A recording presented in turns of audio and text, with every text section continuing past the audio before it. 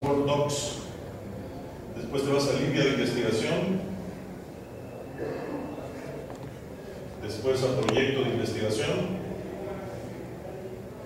Y después a línea de investigación, un PowerPoint. Ese mero.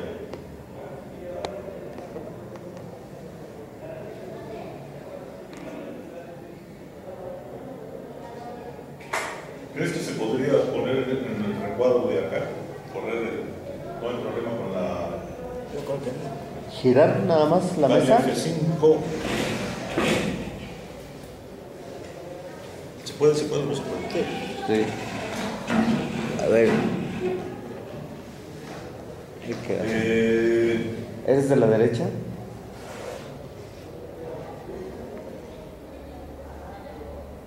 bueno, un ratito paso, pero a donde quiero llegar.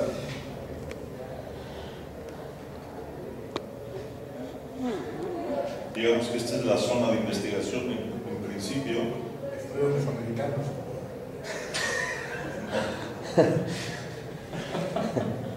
Qué barbaridad este muchacho, tiene un humor. Aquí está todo el ayate con la imagen de la Virgen. Les voy a soltar el ayate sobre la ayate. ¿Cuento con cuánto? 40 minutos, dice el manual. 40 minutos. Más 15 de preguntas. ¿Me puedes avisar? ¿Me Ahí. puedes avisar? Bueno. Así se llama la línea. Que implica los, los tres campos, o, o, eh, sí, campos más amplios a los que se refiere desde el punto de vista teórico y, de investigación. Con lo primero que quiero mencionarles es lo siguiente, para ubicar esta línea de investigación. En las ciencias de, de las ciencias sociales o del comportamiento, como quieran, hay tres grandes avenidas, tres grandes campos. ¿no? Uno, las cuantitativas, cuantitati- cuantitativas, Ta, ta. es decir, las positivistas, las que están planteadas desde Durkheim en las reglas del método sociológico, que siguen el esquema de recoger datos en campo, sobre todo con encuestas, procesar la información de manera estadística y hacer deducciones estadísticas. Ese es el esquema tipo, típico de una investigación sociológica, ¿no? que utilizan ya de manera sofisticada hasta programas de tipo estadístico, media, mediana, y más adelante se puede utilizar el cálculo de probabilidades. Aquí en la escuela no hay una corriente La antropología un poco se define dentro del campo de lo cualitativo.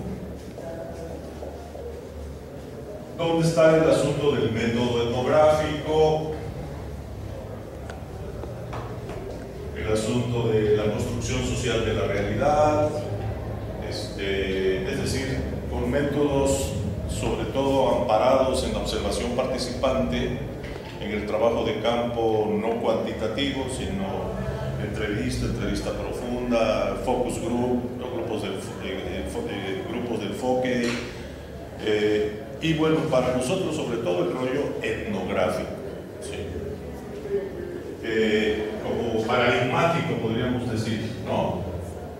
y que pues tiene como cometido sobre todo llegar a, como decía Malinowski, y sigue siendo el objetivo central, llegar al punto de vista del actor o al punto de vista del nativo, cómo ven las cosas los observados, los sujetos observados, no tanto el observador, ¿no? Entonces, eh, algunos, hay algunas corrientes de la antropología que le echan cierta mano a lo cuantitativo también, ¿no?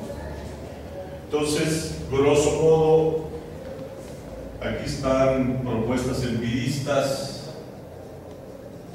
lo más importante en investigación antropológica es el dato, la descripción, y mucho menos importante la teoría.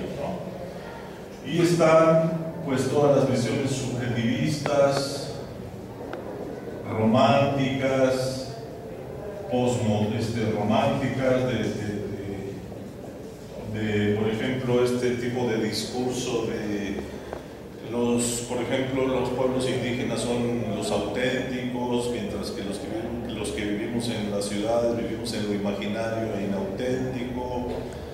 Hay una cierta tristeza, oposición pesimista sobre la decadencia de Occidente y o se está perdiendo la autenticidad de lo, de lo indígena, etcétera, etcétera dale tu mano al indio, que dale tu mano que le hará bien, ¿no? que te hará bien, etcétera, etcétera. Es derivados, ¿no? Más el rollo de construcción social de la realidad, la topología simbólica, etcétera, etcétera, ¿no? Y hay una tercera corriente de ciencias sociales que podríamos llamarle como histórico-crítica. La histórico-crítica ubicas tus objetos de investigación, por llamarlos de alguna manera, dentro de una perspectiva histórica, tienes una intención crítica, hay una crítica sobre todo del poder, relacionas tu investigación con el poder y hacer propuestas que tienen que ver con procesos de liberación fundamentalmente políticas, políticas culturales, la, el, tratar de ir más allá de la explotación económica, la opresión política, etc. Mi propuesta pertenece a esta tradición que viene del marxismo, la antropología eh, bueno, ya en lo que yo sostengo descolonial, la antropología postcolonial, los estudios subalternos,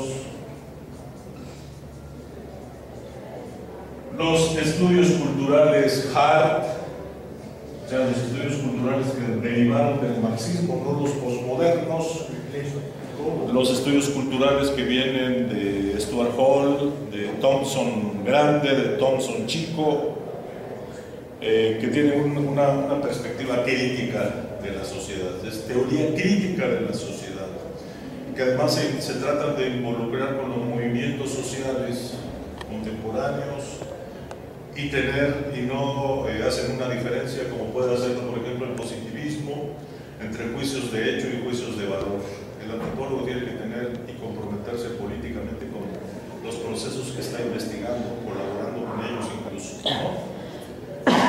La línea pertenece a este, a este tipo de ciencia social. ¿sí? En la facultad no hay representantes de esto, digamos que ya eso lo pueden encontrar ustedes en la facultad de sociología, también en posiciones críticas, pero es allá donde se hacen investigaciones a la positivista, ¿no? con, este, haciendo encuestas, ¿no? con la encuesta y el, y el, análisis estadístico. Aquí, si estas que he mencionado aquí, sí están representadas en la facultad, diríamos que las dos, de las tres avenidas que existen en las ciencias sociales, hay dos en la facultad. Yo estoy en esta. Este, este, este, esta línea de investigación está en esta. Ya por lo que les ha dicho, ustedes podrían ubicar de las otras líneas o hagan ese ejercicio en dónde estarían. Yo creo que, bueno, ya no, ya, incluso qué otras podrían estar en la histórico-crítica o entre la histórico-crítica y la cualitativa en alguna de sus variantes. Eso se los dejo de tarea. ¿no? Bueno, eso es lo primero que les quería decir. Entonces, esto ya lo podemos borrar. Y incluso esto, eh, esto si pudiera yo lo jalaría acá para que lo tuvieran en cuenta, ¿no? Porque lo vamos a detallar. Siguiente punto. Eh, aquí ya están puestos como conjuntos y subconjuntos las distintas áreas de mi proyecto. Y el primero es el de la antropología de la globalización. Eh, digamos que la línea lo que hace son tres cosas. Uno de ellos es la antropología de la globalización.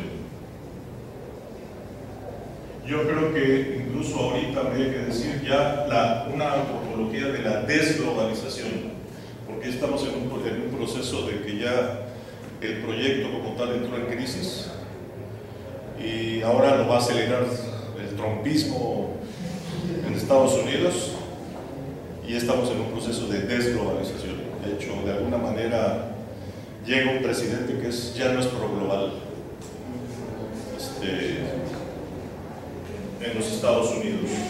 Primero, ¿qué es globalización? Globalización es un proceso multidimensional. Inicialmente es un proceso económico.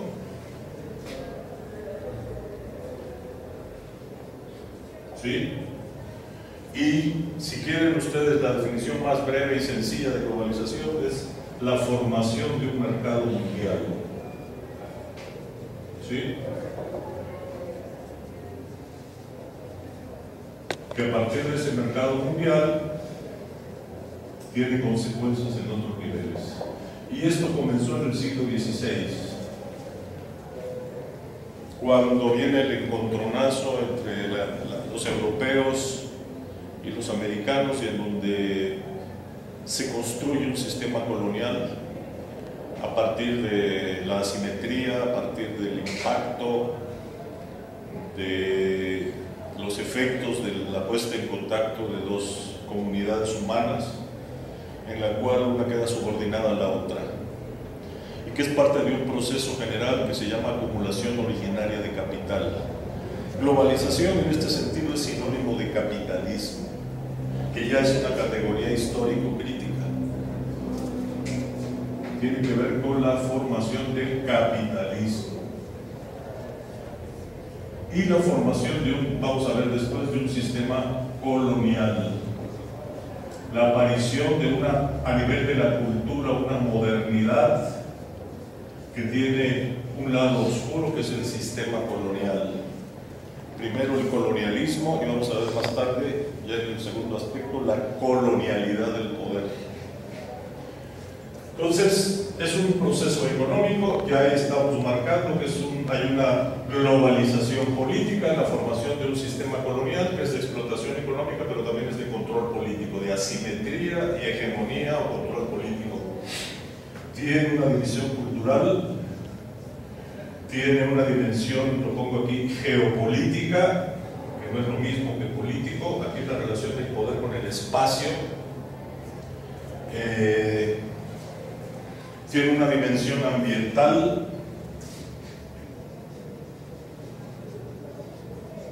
Podríamos decir que tiene una, una dimensión religiosa, una dimensión identitaria, una dimensión psicológica.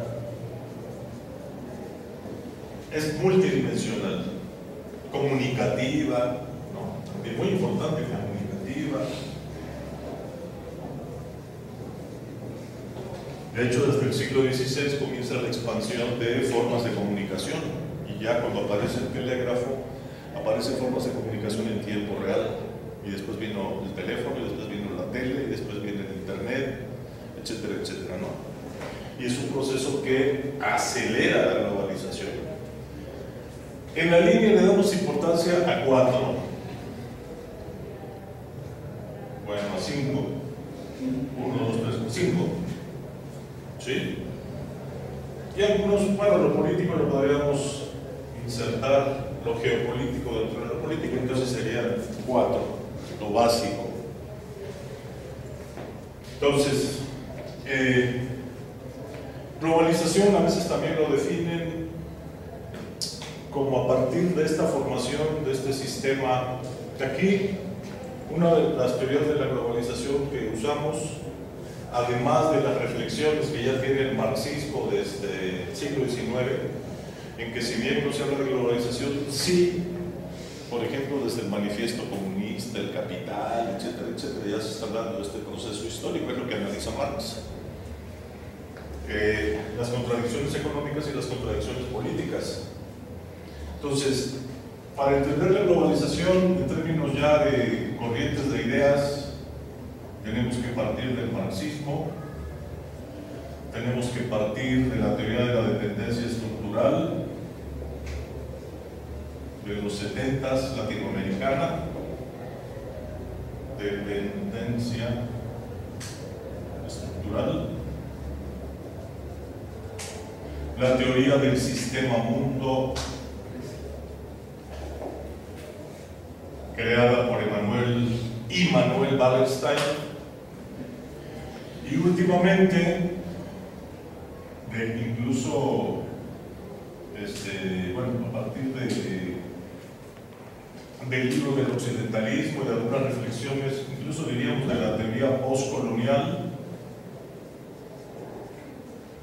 de la teoría subalterna, que son antecedentes, para llegar a una propuesta latinoamericana de análisis histórico crítico que se llama la teoría decolonial. Tiene varios nombres, teoría decolonial, proyecto de modernidad, colonialidad, post-occidentalismo. El primer nombre que tuvo fue post-occidentalismo. Eh, y después se usa alternativamente el, proyecto modernidad-colonialidad o el, giro de colonial o la teoría de colonial. Este es el ámbito teórico para entender la globalización que realizamos en la línea. La línea está estructurada de las seis horas a la semana, una hora de un seminario teórico.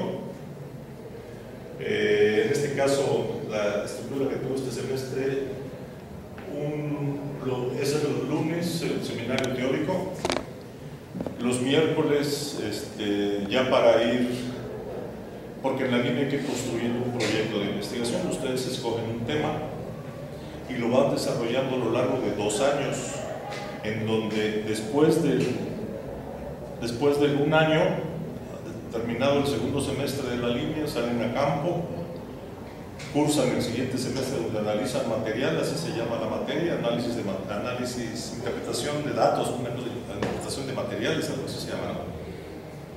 O sea, donde analizas tus datos de la primera práctica de campo. E inmediatamente terminado el tercer semestre, sales a campo otra vez y ya preparas, se supone que un borrador, un adelanto de tu presentación de titulación, mientras estás llevando, perdón, eh, en el último semestre y todavía tienes otro semestre con este, experiencia recepcional, que se supone que prepararías ya a partir del tipo de titulación que escogiste, ya sea práctica, tesis, tesina, ensayo, este, ¿cómo se llama? Informe, etcétera, monografía.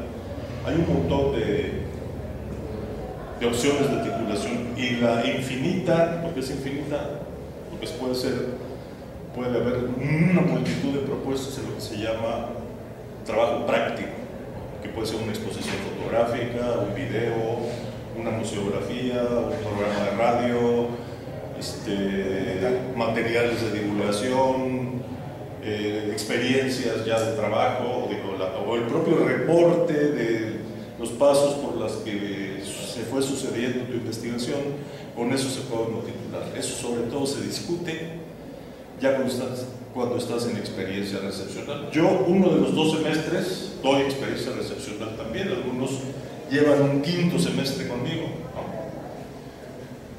Pero también entra gente que no ha estado en la línea conmigo, no tan solo. Entonces, y, en el, y estoy eh, dejando los viernes para asesorías individuales. Hacemos un rol de un calendario, digamos, Ahorita hay eh, cuatro, cuatro integrantes de la línea y entonces, digamos, veo a cada quien cada mes, ¿no? Una vez al mes, aunque me han dicho, ya hicimos la primera vuelta y no ha habido segunda, pero he estado dando asesorías incluso a otra gente, ¿no? O cuando se necesita, ¿no? Entonces, esa es un poco la mecánica, ¿no? En términos de, de distribución del tiempo. Entonces, Esta es la globalización, algunos lo definen, hay muchas definiciones de globalización, hay unas muy sofisticadas, pero digamos otra, además de la formación de un mercado mundial y sus consecuencias, está la que dice que es la intensificación de los flujos de cuatro cosas. ¿Cuatro? Intensificación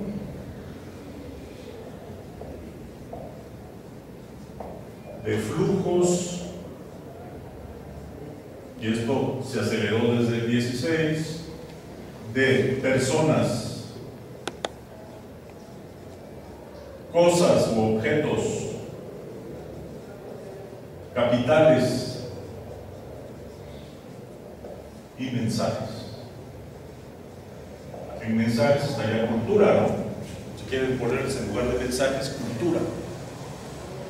Entonces, del siglo XVI efectivamente se, hubo, se construyeron circuitos planetarios de personas a través de las migraciones, de eh, objetos, el azúcar, ¿no? que si bien es oriental llega y en su lugar privilegiado de, de crecimiento es el Caribe, en el caso del café de Brasil, ¿no?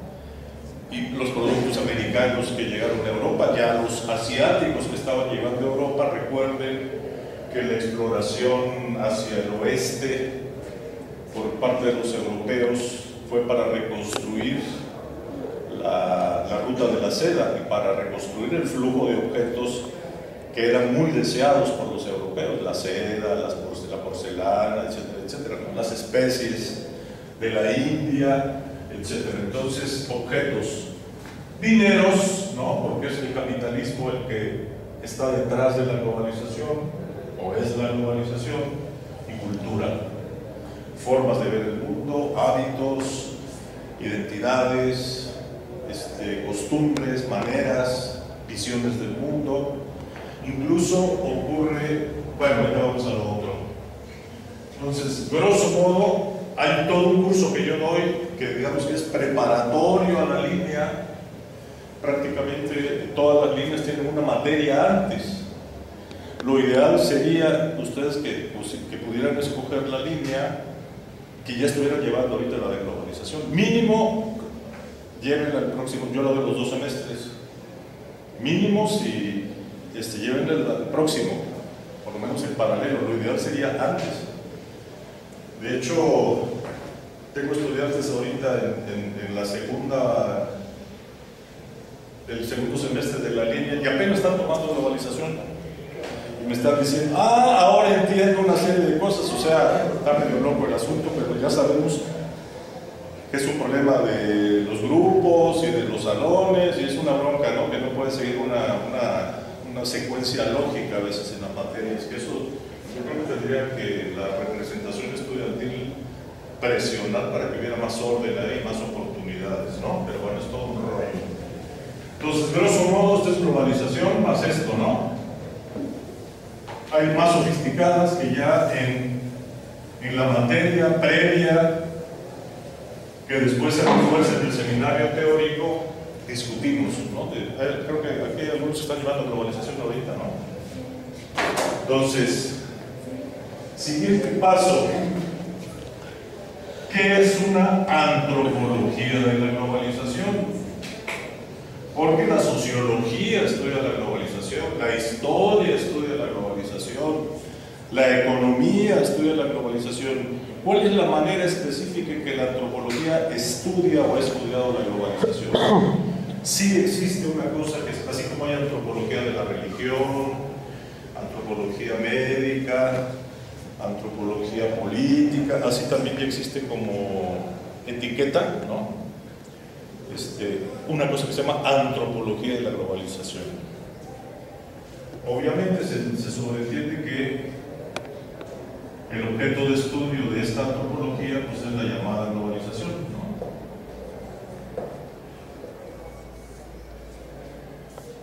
A nivel cultural, la globalización significa la propuesta por parte del, del, centro de la globalización, que es otra idea, el sistema mundo globalizado según Wallerstein, está constituido por una estructura jerárquica, lo que se llama el sistema mundo, capitalista y globalizado, está formado por un centro, una semiperiferia y una periferia.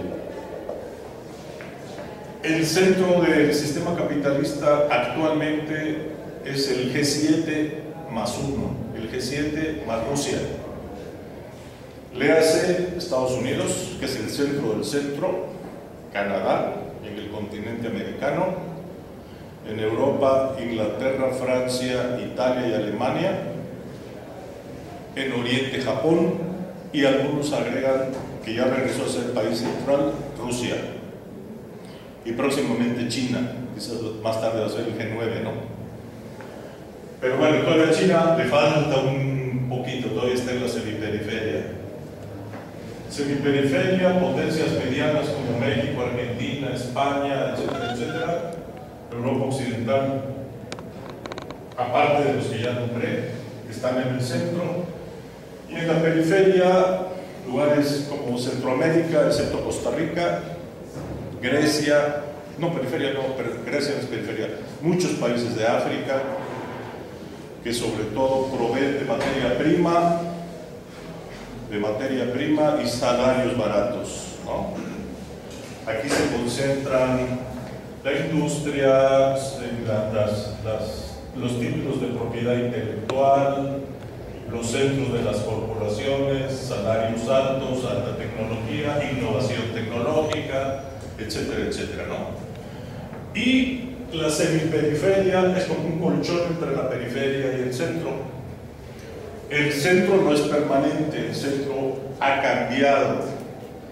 En los ciclos que se llaman hegemónicos, el primer centro del sistema mundial fue Venecia, la primera ciudad-estado en donde el capitalismo se volvió dominante y se organizó la sociedad en términos de mercado y valores de la burguesía fue Venecia, después Génova, después Ámsterdam, después Gran Bretaña y actualmente los Estados Unidos, que está en decadencia y que hay una disputa en donde probablemente China sea el siguiente centro, sí sigue existiendo el capitalismo, porque también en el análisis que se está haciendo de la teoría del, del sistema mundo, se está hablando que estamos en un momento de decadencia terminal del capitalismo. ¿sí? Que ya no va a haber otro, otro centro y que la estructura del mundo va a cambiar, del mundo, del mundo, del mundo mundial va a cambiar. ¿no? Entonces, ese es un esquema, una teoría de la globalización, cómo está estructurado el mundo, que también implica que hay tres niveles de análisis. Lo global, lo estatal, nacional, la nación-estado, y lo que yo digo es lo regional, local. Son formas de integración sociocultural que tienen su propio nivel de organización y que si falta uno, está el, está el siguiente. También se parte de la idea que el sistema mundo es un sistema interestatal, de Estado-nación. Esta teoría de la globalización no dice que el Estado está desapareciendo. Hay otras teorías, por ejemplo, las, lo que le llamamos globalismo, que es muy favorable al, al tema de la globalización, y dice que el Estado está desapareciendo y que solamente está actuando ya en el mundo directamente lo global y lo local. Que ya a nivel Estado-Nación está desapareciendo, ya desapareció. No es cierto según esta teoría y según yo, sino es muy importante la dimensión Estado. Fíjense qué importante es ahorita en Estados Unidos que muchos están diciendo que la estructura del sistema mundo va a cambiar por un presidente en un Estado-nación, el que es el centro del sistema, que ya está renunciando al, proyecto de la globalización, porque la globalización también es un proyecto. Bueno, aquí estamos hablando de la globalización en sentido amplio. También hay autores que dicen que hay una globalización en sentido estricto. y que es la reorganización y el funcionamiento del capitalismo en crisis de los 70 para acá para garantizar que, que sigue existiendo el capitalismo, que sigue el proceso de acumulación de capital que es lo central. Y a eso se le podría llamar globalización en sentido estricto. El neoliberalismo, a pronto. Precisamente como Trump eh, ya en su propuesta económica, con todo lo vaga que es, pero se va a ir precisando, ya le da la espalda al proyecto de globalización neoliberal. Diríamos yo, la globalización realmente existente, la etapa última de globalización. Entonces, hay una globalización en sentido amplio. La propia palabra globalización eh, se volvió dominante en el lenguaje de las ciencias sociales de los 70, 80 para acá. Antes no se usaba. Y algunos dicen, bueno, entonces la globalización es a lo que se refiere cuando ya aparece la palabra. Algunos incluso podrían decir, en sentido amplio hay que llamarle mundialización y ya, y ya en el sentido estricto globalización es lo que ha venido ocurriendo sistema mundo de la crisis de los 70 para acá, de 71, 72 hasta hoy, que es una profunda crisis capitalista. Hay también cierta conceptualización para tratar de entenderla entonces no se olviden de esto. Entonces, una antropología de la globalización implica dos cosas. Las influencias de lo global sobre lo local, y yo agregaría estatal, ¿sí? Estatal nacional. Y al revés, la podríamos ponerlo la influencia, aquí está lo global otra vez, las respuestas de lo local regional y lo nacional sobre lo global. Es decir, las influencias mutuas. La globalización en estos tres niveles, en estos niveles estos que habíamos hablado de económico, político, cultural y ambiental, crean una influencia homogeneizadora. Si nos restringimos a lo cultural, la preeminencia de la cultura europea, pretendidamente cultura universal, se da obviamente por el control hegemónico de Europa y Estados Unidos, y entonces la cultura euroestadounidense se considera la universal, la legítima, la, la, mayor, la, la más importante. Y ejerce una influencia sobre el resto del planeta y es una fuerza de homogeneización cultural. Muchas, muchos años se pensó que esa fuerza era imbatible, era una influencia tan grande, tan poderosa que lo único que ocurría o que iba a ocurrir con los pueblos y las culturas de los pueblos es que iban a ser arrasados.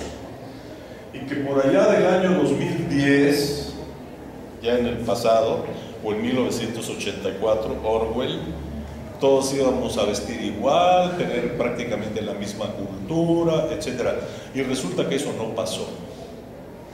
Los primeros científicos sociales que desde su trabajo de campo comenzaron a cuestionar esta fuerza, esta fuerza este, arrasadora de la homogeneización cultural global, fueron gentes desde su trabajo de antropología. Aquí no está pasando. Aquí resulta en lo local que hay rechazos a influencias globales hay gente que parcialmente acepta la influencia, pero la reconfigura a partir de cuestiones de raíces locales. Hay cosas que se rechazan por completo y hay procesos de innovación cultural en la cual desde lo local, regional, se crean cosas nuevas. Por, viene la presión, se rechaza y se pone algo en su lugar desde lo local. Eso lo comenzaron a ver en su trabajo de campo los antropólogos. O sea, no es tan cierto eso de la globalización y que es como un tsunami que arrasa todo, y al ratito todos vamos a ser igual, vamos a pensar igual, vamos a consumir igual, vamos a... No es cierto. La diversidad y la diferencia subsiste aún en la globalización. Incluso sucede que desde lo local hay cosas que se incorporan a lo global. El reggae. Fíjense cómo está el rollo del reggae. El reggae es la influencia del rock inglés en gente de Jamaica, que ya tiene formas propias como el ska y otros ritmos, que es procesado por la población, los músicos, y se genera un nuevo ritmo, que no es exactamente rock, que tampoco es ska, que es mestizaje, y que después de ser local, incluso ligado a una religión que es el rastafarismo, accede a lo global vía, este, ¿cómo se llamaba el músico, el músico más importante? Marley. Bob Marley. Bob Marley tiene una difusión global y el, y el reggae se incorpora a la cultura global viniendo desde el sur, viniendo desde la periferia o semiperiferia, de Jamaica, del Caribe. Entonces, incluso hay cosas que vienen desde lo local que se incorporan a lo, a lo global. De hecho, en esta discusión aparece el concepto de glocal. En esta interpenetración, hibridación, sincretismo, o que ahora se le llama interculturalidad, está el asunto de lo local las interpretaciones de lo global y las interacciones entre lo global y lo local.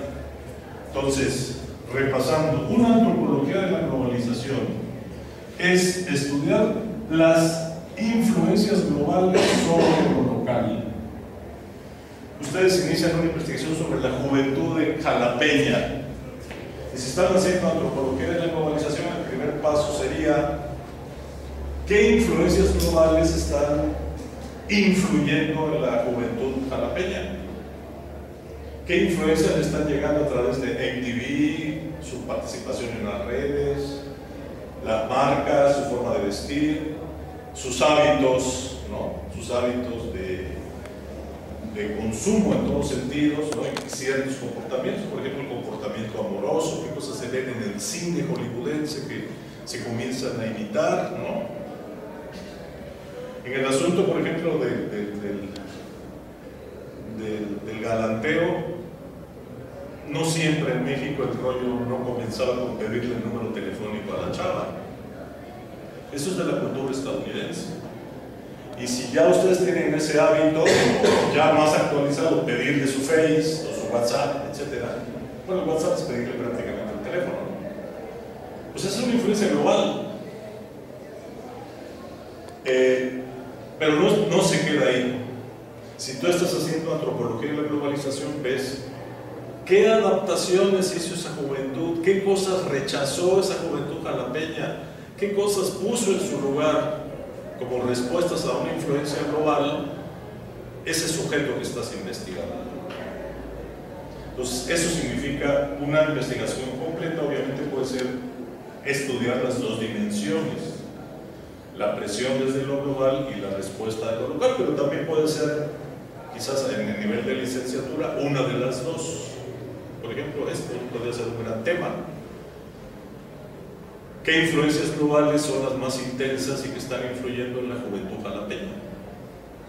Y dejas para otra investigación las respuestas, ¿no? que ya vas a tener alguna idea, puedes dar una, o quizás no profundizar, pero sí ya estar viendo las dos, que sería lo mejor. Entonces, grosso modo eso es, hay, bueno, en su momento desde la materia de lectura sobre esto. En México, gente de la Ibero es la que está desarrollando, eh, tiene textos, Carmen Bueno, sobre el tema de la, de la, de la antropología de la ¿Cuánto vamos de tiempo? Te quedan tres minutos. Tres minutos, me faltan dos más. Bueno, acelero, acelero el... Bueno, es lo que me interesaba, en principio, ¿no? Eh, esto es hacer antropología de la globalización con procesos económicos, con procesos políticos, con procesos culturales y con procesos medioambientales, con cosas que están ocurriendo en el medio ambiente. Si alguno de ustedes, ahorita no hay una línea específica de medio ambiente, pero si están interesados en eso, aquí, aquí lo pueden trabajar. Si lo conectan con la globalización. Y que bueno, el rollo del calentamiento global, etcétera, pues es un proceso global, es un proceso planetario, podríamos decir. Tres minutos, bueno, entonces. Dos más cinco. Vamos aquí. Damos cinco. Vamos aquí. ¿Con qué enfoque? Ya decíamos, ya había puesto la lista y la borré, marxismo, teoría de la dependencia, teoría del sistema mundo, estudios postcoloniales, estudios de subalternidad, pero sobre todo eh, eh, uno que le estoy dando yo mucha importancia, ahorita tenemos el seminario teórico ahorita sobre eso, en el nivel epistemológico, es el proyecto de modernidad-colonialidad. El proyecto de modernidad-colonialidad. Entonces rápidamente borramos aquí.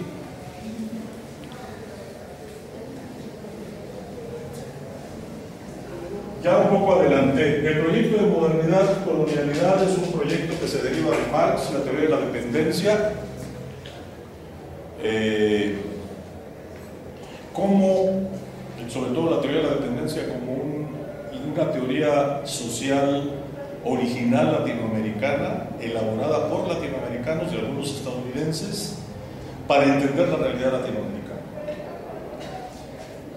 La, el proyecto de modernidad colonial parte de la idea, el concepto central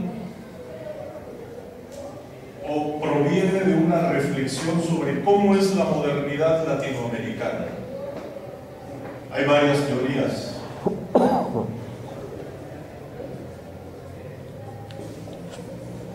Teorías. El concepto central es el de colonialidad del poder. ¿Okay? Aníbal Quijano.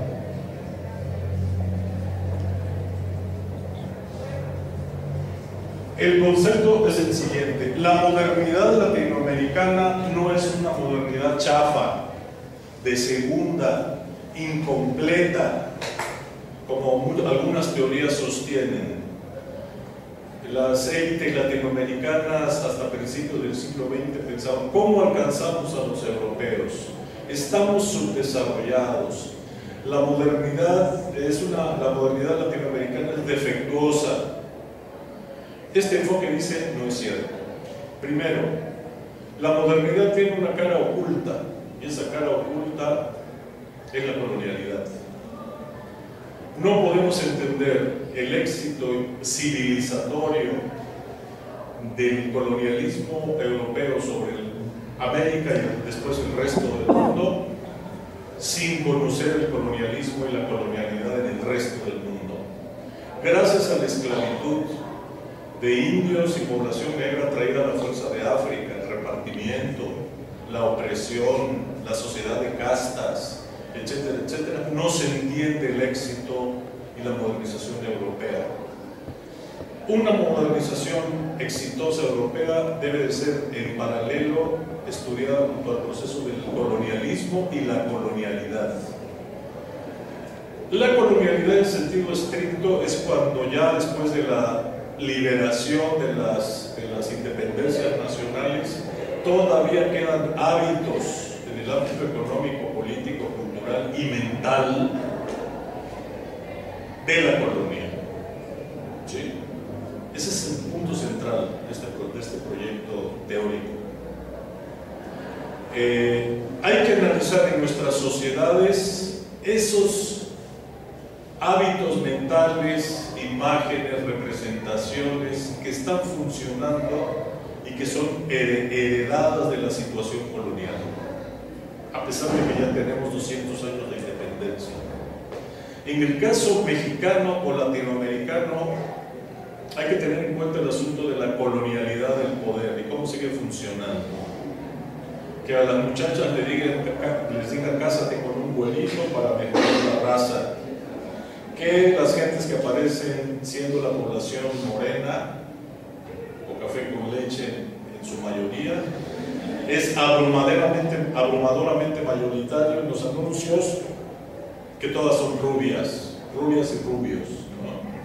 El ideal de belleza sigue siendo el blanco europeo, etcétera, etcétera. ¿no? Que se enseñe la historia diciendo que Colón descubrió América en 1492.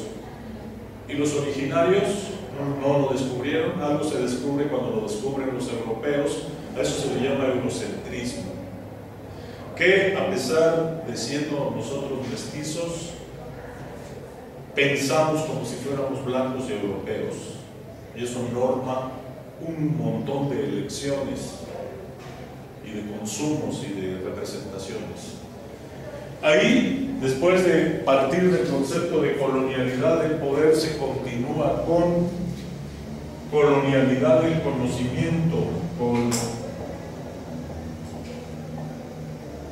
del conocimiento, que ya no lo voy a explicar. Sí. Colonialidad del ser, que tiene que ver con el asunto de las identidades, reformulado.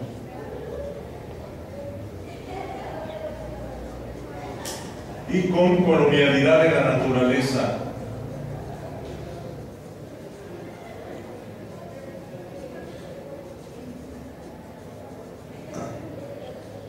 Bueno, esto se los veo, si quieren me lo preguntan, que tenemos, vamos a tener 15 minutos de preguntas o 10, si ya me estoy comiendo tiempo. Va bien, va bien. Este, me lo preguntan ahí, ya se los explico si quieren. Tercera parte. Ya, ya llevamos tres en realidad. El último. Esta propuesta dice que la ciencia social no es un tema solamente de análisis tiene que comprometerse con los movimientos, tiene que acompañar a los movimientos sociales que están resistiendo a la globalización. El proyecto de la globalización es un proyecto asimétrico, hegemónico, explotador, que produce sufrimiento en la población, sobre todo en las periferias y semiperiferias, pero también dentro del centro. Eh, y la opresión y la explotación siempre generan resistencia. Y ya, sobre todo con la globalización en sentido estricto, ha generado ciertas formas específicas de resistencia. En el nivel de lo económico, otra vez, en el nivel de lo político, en el nivel de la cultura y en el nivel de lo ambiental. Es a lo que se refiere, una de las formas que se ha dado es el movimiento alternatista, en donde se discuten alternativas a la globalización neoliberal, alternativas que incluso implican no tan solo pensar en una sociedad postcapitalista, sino comenzar a experimentar formas postcapitalistas de relaciones sociales. Por ejemplo, si en la globalización contemporánea la forma dominante de política es la liberal, hay un autor llamado Boaventura de Sousa Santos que plantea el asunto de cómo democratizar la democracia, cómo intensificar la democracia. Que eso ahorita en Estados Unidos se va a someter a discusión. ¿Qué tan limitado es un sistema democrático liberal que incluso no es una votación general, sino que es con electores?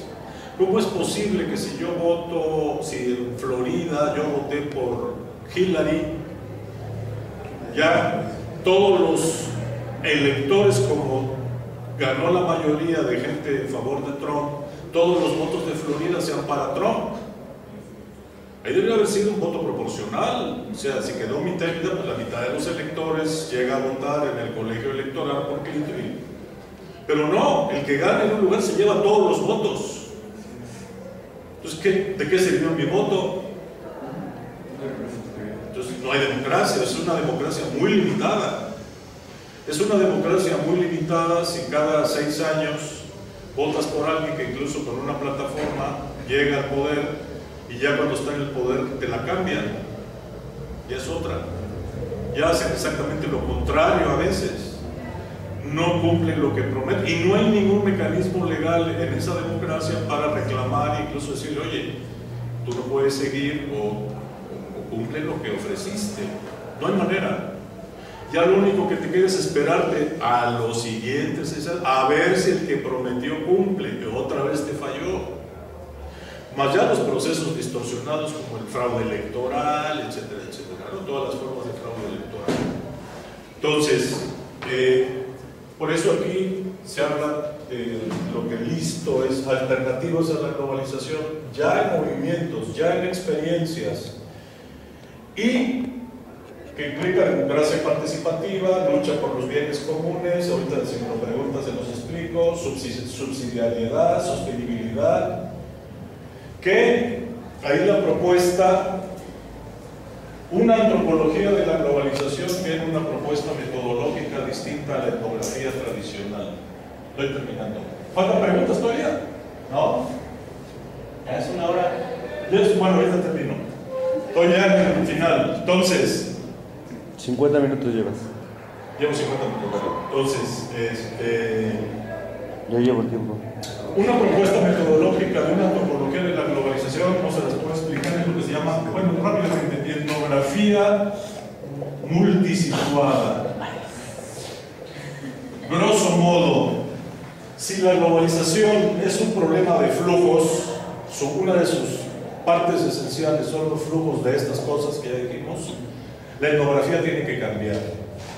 La etnografía ya no puede ser en la aldea solamente, ya no puede ser en el barrio, ya no puede ser en la ciudad. Tienes que hacer una etnografía que siga el flujo de personas, objetos, capitales o mensajes. Si hay una migración, tienes que estar en los lugares de la migración. Si hay una juventud de alguna de la región Jalapa que se va a Chicago, tienes que estar en Jalapa y en Chicago y posiblemente en la frontera. Quizás pasar por la experiencia de cruzar el charco o que te cuele un pollero, ¿no? A los Estados Unidos. Si estás viendo cómo se ha difundido a Sudamérica el culto de la Santa Muerte, hay que ir a donde se está dando el culto a la Santa Muerte. Ya no lo puedes hacer desde Jalapa o desde la Ciudad de México y solamente observar ahí. Esa es la propuesta de la etnografía multisituada. Eh, acá hay una propuesta de lo que se llama investigación-acción colectiva. Ya la investigación no puede ser tan solo contemplativa y para dar un informe. Tienes que participar de preferencia en los movimientos de presencia. La teoría sacarla junto con la gente. No puedo detallar ya por el tiempo, pero hay otras formas de investigación. Hay propuestas diferentes a la clásica etnográfica. Bueno, eso es básicamente lo que les quería contar. ¿Alguna pregunta? ¿Cinco minutos, diez minutos para preguntas? Diez. Diez minutos. ¿Algo que, algo que quiere que extienda un poquito? ¿Alguna duda? ¿Algo de procedimiento? Quizás eso faltó. ¿Por ejemplos de investigación? ¿Perdón? Ejemplos de. Ah, ejemplos. Ahorita, Tomás está comenzando una investigación sobre las influencias neoliberales en la educación universitaria veracruzana, es decir, la UB. Otro compañero quiere, eh, desde el punto de vista de lo geopolítico, analizar qué onda con el istmo de Tehuantepec, qué ha pasado con el Plan Puebla-Panamá. En términos ya de investigación-acción, Alba está trabajando en un lugar de Jalisco con un lugar que están resistiendo a quedar debajo del agua porque está propuesta una presa. Y allí en concreto ella quiere trabajar un, tallercito para reforzar el movimiento, para que el movimiento se consolide. Y en caso de que lo reacomoden, ¿qué alternativas hay? O en caso de que sobrevivan, eh, eh, ¿cómo pueden diversificar su economía, etcétera? ¿Qué, qué recursos tienen? ¿Cómo los podrían usar? Trabajando con la gente. En el caso de Eugenia, ella va a trabajar con la gente de Jalcomulco para ver qué planes o propuestas les pueden hacer al gobierno para que sea aplicada en Jalcomulco y también ligada al movimiento de resistencia contra las presas. Les donaron a Jalcomulco una planta tratadora de agua este, que no se usa. Pues bueno, que se use. ¿Qué tenemos que hacer para que nos vengan a, enseñar cómo usar la planta de tratamiento de agua. En otros semestres, este, ah, bueno, una dimensión que ya no pude tocar, pero que para la línea es importante, es la cuestión del cruce entre los procesos de globalización y la ciudad. Entonces hay uno de los mejores trabajos que se ha hecho de Isaac Nieto sobre la dinámica ciudad-puerto en el puerto de Veracruz. Es decir, una ciudad que tiene un puerto funciona distinto a una ciudad que no tiene puerto. La función portuaria influye sobre el diseño de la ciudad y el funcionamiento de la ciudad. Y él estuvo trabajando eso. Una compañera que después hizo la maestría, que ya terminó en el Colegio de México sobre urbanismo, comenzó a tratar cómo el movimiento que se generó con el libramiento de la ciudad de Jalapa, que generó, el libramiento de Jalapa tenía dos opciones de trazo.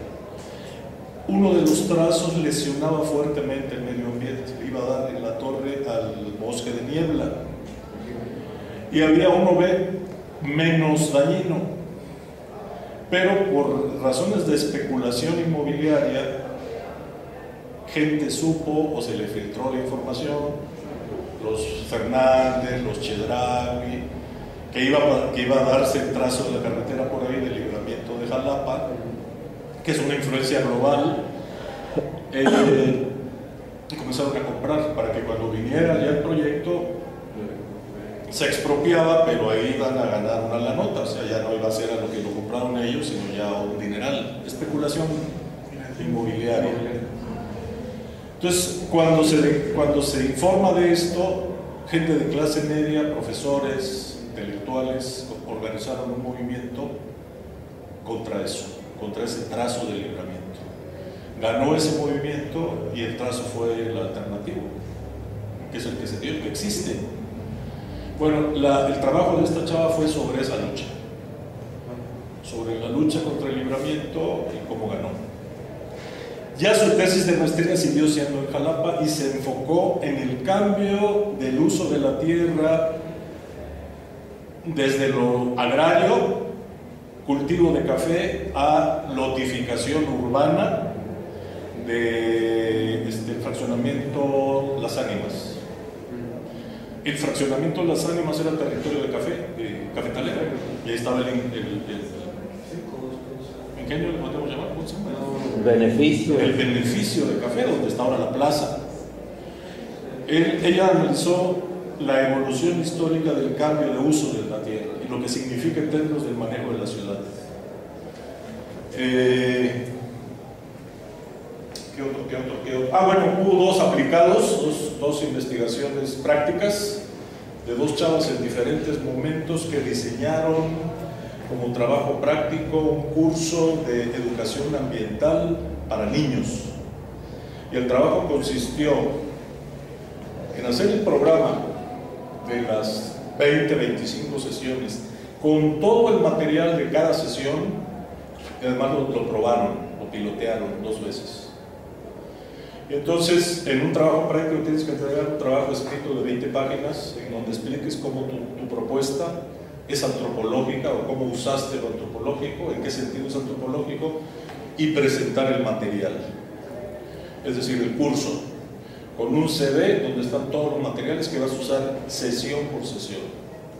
Ya lo único que tienes que hacer es revisar el material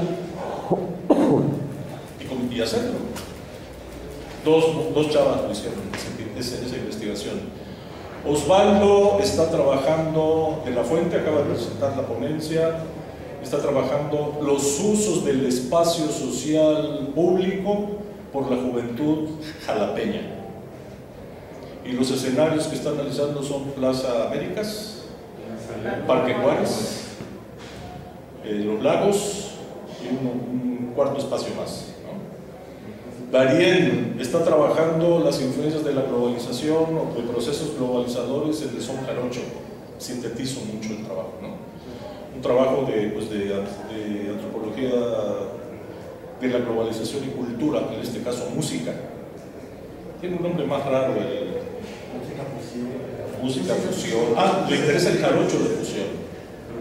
En el sureste de Veracruz, en la región de Acayucan, Acayucan, está trabajando con grupos de, de jarocho, con fusiones, con rock, con jazz, etcétera, etcétera, en Acayucan.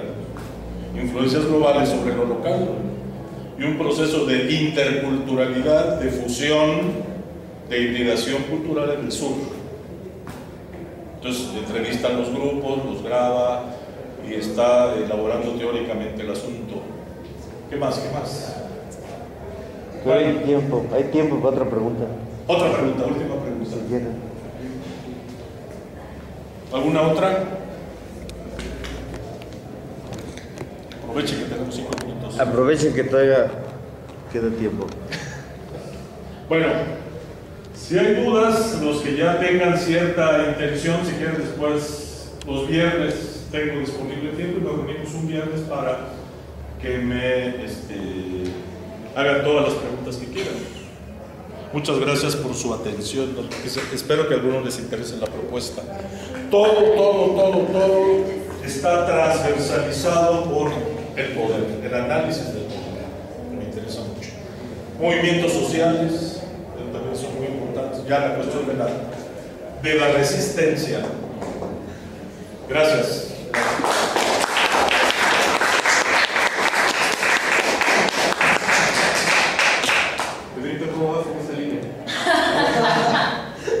Lo estamos tratando de convencer que no se deja.